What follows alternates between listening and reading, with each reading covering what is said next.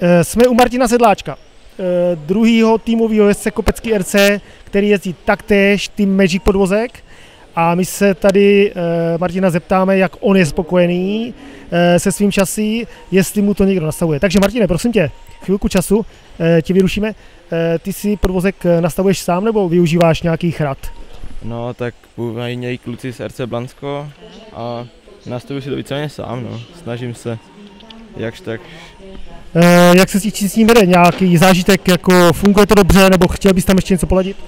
Ne, funguje to dobře a vlastně už mám druhý podvozek od Team Magicu a jsem s ním spokojený.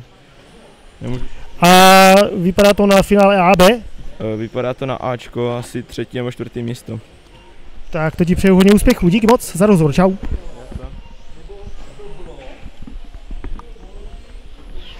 Tak to byl Michal Sedláček z týmu Magic, víc už tady adeptu nemáme a musíme se rozmyslet, koho zase oslovíme. Asi někoho z GTček, případně z Modified.